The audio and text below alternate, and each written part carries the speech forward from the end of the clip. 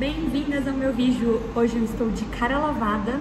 Vou ensinar vocês a fazer uma maquiagem super prática, super fácil. Eu quero que vocês vão acompanhando comigo esse vídeo. Lembra de mim quando você tiver com dificuldade de fazer alguma parte da maquiagem para você conseguir ir acompanhando e fazendo na sua casa, tá legal? Vamos começar. Se você também tem dificuldade em aprender uma rotina de skincare ou como fazer um skincare, eu postei um vídeo com máscaras super divertidas para você arrasar no seu skincare e ficar com a pele bem saudável. Lembrando que para maquiagem ficar com um aspecto bem legal, é bom quanto mais cuidado da sua pele tiver, melhor vai ficar a sua maquiagem. Combinado? Então, vamos lá, sem mais enrolação, para o primeiro passo da maquiagem, que é o primer. Eu gosto de explicar para vocês o porquê, para vocês lembrarem o porquê das coisas, como aplicar a maquiagem, que aí vocês vão decorando toda a sequência. Então, o primeiro passo é o primer da maquiagem. Eu peguei o da Young, que é o bronze, então vou mostrar pra vocês. É, normalmente as pessoas, elas assustam um pouco quando passam o primer. Olha isso, gente. Ele tem essa cor super diferentona. E eu vou começar a espalhar vai massageando. E esse primer, gente, ele tem que fixar no rosto todo. Por quê?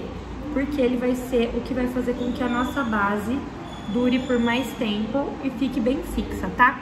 Ó, no começo ele dá uma assustada, mas realmente ele vai dar uma bronzeada e o efeito metalizado ajuda a esconder manchinhas de acne, de expressão, tá bom? Então, ó, apliquei o primer no rosto todo. Depois que aplicou o primer no rosto todo, eu gosto de usar um corretivo. Para corrigir, eu tenho muita vermelhidão no rosto, e se você se incomoda também com as suas olheiras, eu recomendo você utilizar um corretivo. Eu vou utilizar o da Fran, que tá super famoso também, ele é um corretivo cremoso. Então eu vou aplicar ele embaixo da área dos olhos.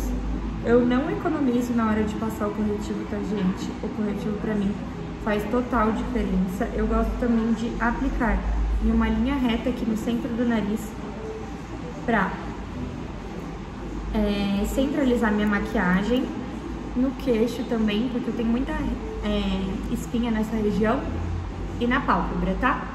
Então eu vou fazendo assim rapidamente para vocês conseguirem realmente ir pegando, vai parando para você conseguir acompanhar, tá? Então agora com a esponjinha já úmida, esponjinha da Mariana Sade de microfibra super macia, dando batidinhas para esse corretivo ficar no lugar. Esse é o maior segredo para não arrastar o corretivo e não arrastar a base. Ele tem que ficar no mesmo lugar, porque senão a gente tira a cobertura do produto, tá legal? Então a gente deixa ele no lugar, ó, vem dando batidinhas e não vai misturando. Aqui eu vou aplicar no pálpebra e chegou uma hora de uma vez por todas para você conseguir fazer a sua maquiagem sozinha e não ter mais dúvidas. Se ficar alguma dúvida, pode colocar nos comentários que eu vou responder todo mundo, tá bom? Então, ó, com batidinhas com corretivo. Agora, o item surpresa que eu tava louca pra trazer aqui pra esse vídeo é a base que ficou muito famosa, que é a base da Dermacol, que é uma base em estilo de pomada. E ela é alta cobertura, cobre tatuagem, cobre tudo. Eu falei, não, vou ter que gravar esse vídeo com essa base pra vocês verem a cobertura dela, tá legal? Então eu vou pegar ela, ela é nesse estilo de pomadinha, vou aplicar direto aqui na esponja. Peguei uma quantidade assim, ó, um tamanho de um feijãozinho. E vou começar a espalhar ela no rosto pra gente ver. Ó, uma gotinha dessa base. Meu Deus. Vocês viram, né, gente? Sem cortes. Uma gotinha da base.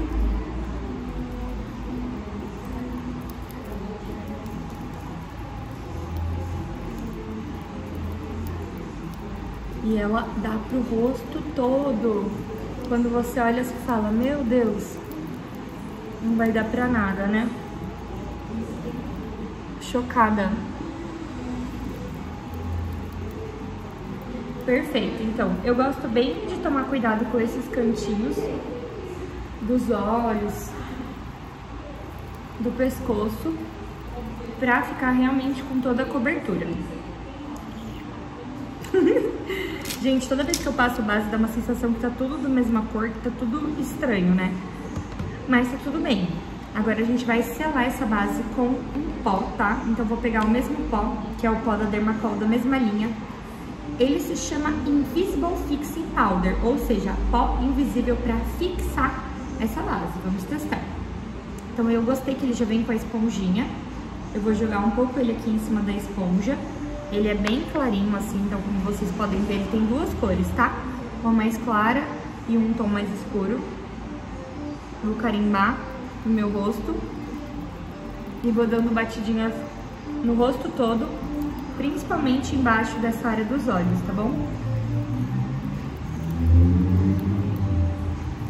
Pra realmente fixar. Então a importância da gente fixar a base com o pó é pra ela selar bem, pra evitar de abrir pra aumentar a durabilidade da base, tá? Pra quem tem pele oleosa, vai ajudar bastante. A gente vem com batidinhas aqui. Para quem tem dificuldade em fazer esse efeito baking com a esponja, pode fazer a aplicação com pó, tá bom? Ou então ir varrendo assim com pozinho, tá legal? Agora, eu vou utilizar com vocês esse trio da Boca Rosa, que tem o contorno e o blush. Vou pegar o contorno e o blush, tirar o excesso, dar um sorrisinho e vou começar a pigmentar. Então a gente passa, tira o excesso. Tira aqui. Aplica aqui. Em cima da bochecha, no outro e na pontinha do nariz. Olha que legal, você começa a dar uma corzinha pra maquiagem.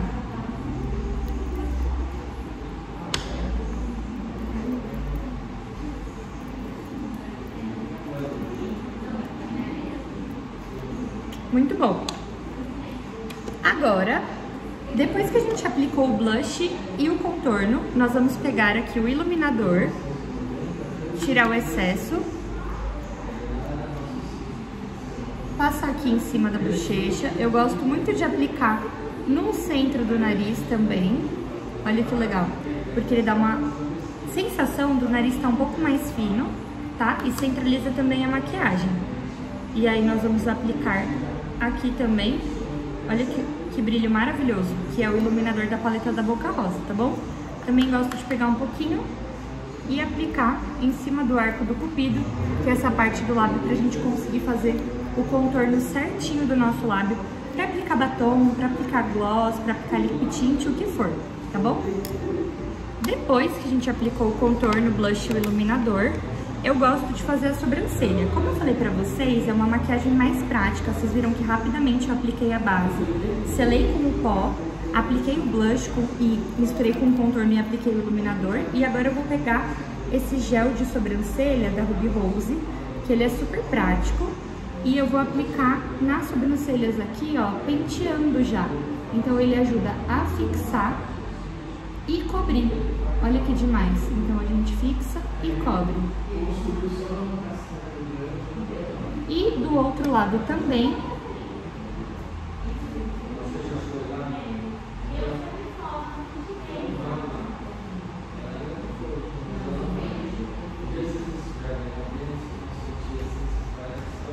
Olha que demais. Então a gente já aplicou para sobrancelha. E agora eu vou passar uma sombra líquida, que é o BT Velvet, da Bruna Tavares, também, que é super prático. Ele é sombra e primer, tá bom? Então a gente vai pegar um pincel de esfumar, vamos pegar o Velvet, aplicar em cima da pálpebra, gente, não tem segredo, tá bom? A gente aplica aqui em cima da pálpebra rapidamente e com o pincel nós vamos esfumar para conseguir pigmentar toda a pálpebra móvel, tá? Então a gente vem trazendo esse movimento com o pincel para conseguir esfumar, tá bom? E aí nós vamos pro outro olho também. Se você tiver dificuldade, pode pegar um, um espelho igual eu peguei agora, para você trazer e conseguir ver de mais de pertinho até onde você vai levar, tá legal? Então, olha que belezinha. Eu recomendo essas sombras velvets também pro dia a dia, que é fácil e prático para você conseguir aplicar Porém, eu quero mostrar uma sombra de brilhinho que você pode usar o próprio iluminador, tá bom? Então, vou pegar esse iluminador, foi o mesmo que a gente usou no nosso rosto, e vou aplicar como sombra. Eu acho que fica super delicado pro dia a dia e também é uma maneira muito prática de você ficar com sombra, tá legal?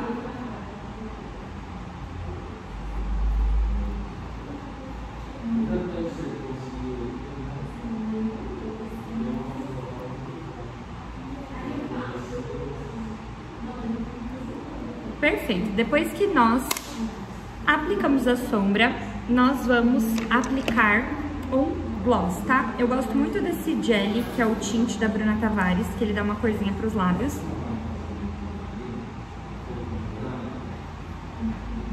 O gloss tra traz uma saúde pros lábios.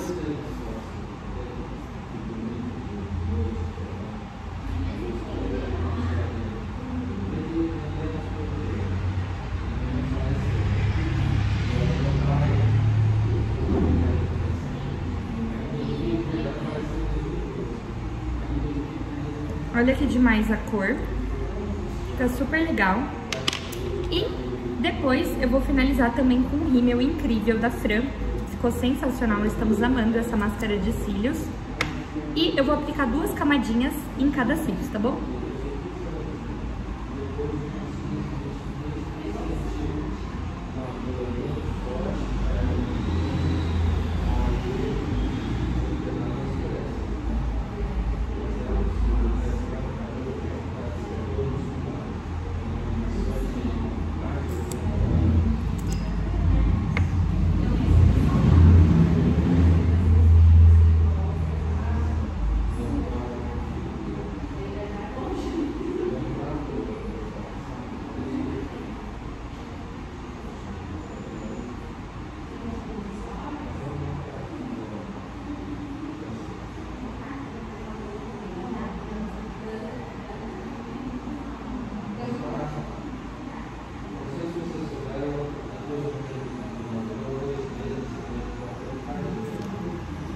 Muito bem, depois nós aplicamos a máscara de cílios, é, vamos finalizar com... Eu vou finalizar com essa chuva de vitaminas, que ela é como se fosse uma bruma, que ela tem vitaminas, para conseguir fazer com que essa pele é, mole, hidrate e seque.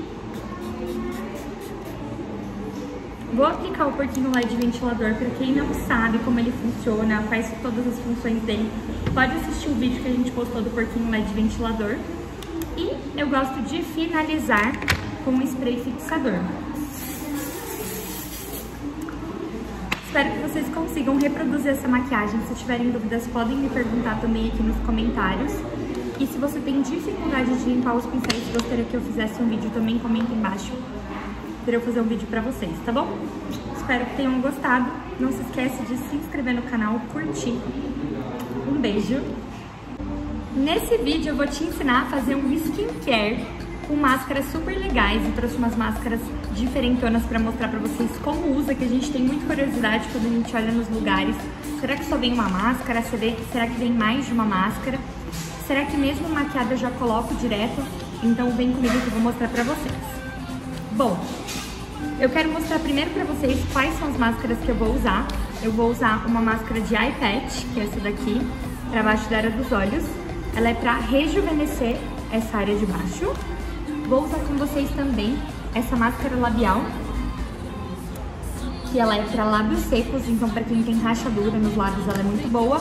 E vou usar essa máscara que também é super queridinha entre as pessoas, que ela é de Waffle Mask, ela tem uma textura. Eu já usei, eu falei, vou vir gravar aqui pra vocês, que é uma das minhas favoritas, essa máscara aqui. E vou mostrar. Bom, vamos lá. Antes de tudo, pra gente começar, a gente tem que começar removendo a maquiagem, né? Então eu vou usar com vocês o demaquilante com algodão.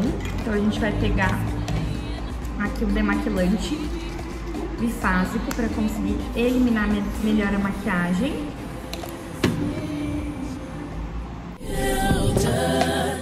Depois de demaquilar bem, eu gosto muito de usar água termal.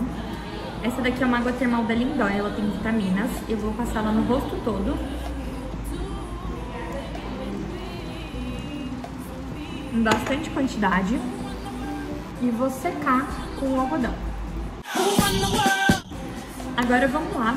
Eu vou usar com vocês primeiro essa máscara aqui, que é o iPad. É da marca Coco Star. E ele é bem legal, já usei antes. Você abre assim, retira da embalagem.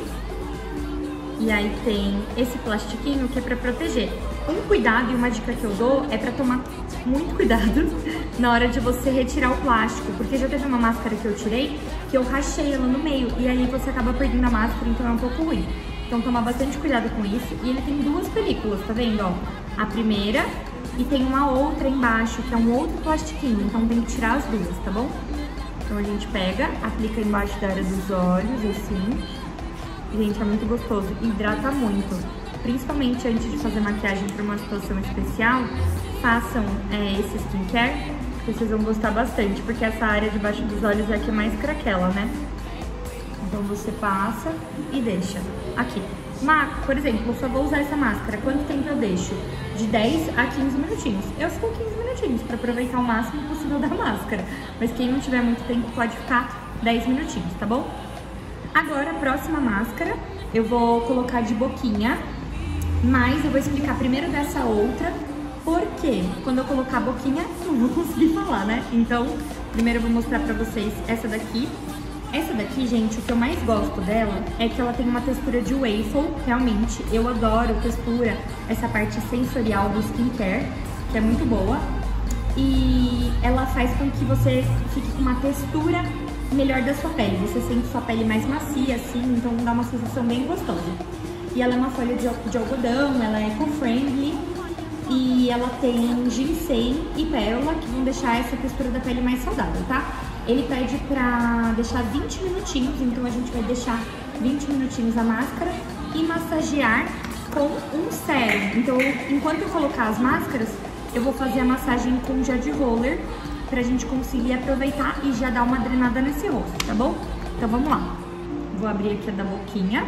Sempre também cuidado ao abrir as máscaras, gente, pra vocês não rasgarem a máscara, tá? Como eles são tudo muito delicadinho, toma cuidado. Então a gente vai puxar aqui Ó, ela vem nesse...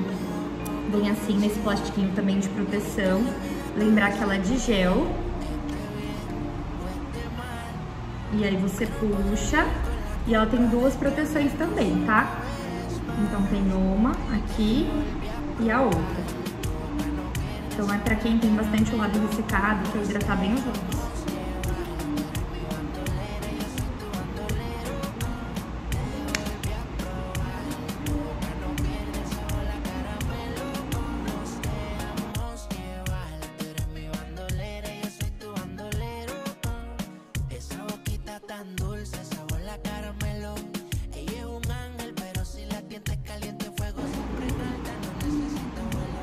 Gente, eu sempre começo retirando da boquinha, porque dá uma vontade de ficar conversando, né? Então é assim, ó, você já percebe que ela absorveu. Depois eu gosto de tirar essa na sequência. Você sente que ela fica bem absorvida, ó, saiu junto uma do olhinho. E do outro lado também. E mesmo depois de tirar a máscara, eu gosto de fazer uma drenagemzinha do rosto com gel de roller para absorver todo esse sérum da máscara. Gente, é uma sensação tão gostosa de pele saudável. Ou então, com os próprios dedos mesmo, eu gosto de fazer essa massagem um pouco com a mão mais firme para ir absorvendo todo esse líquido.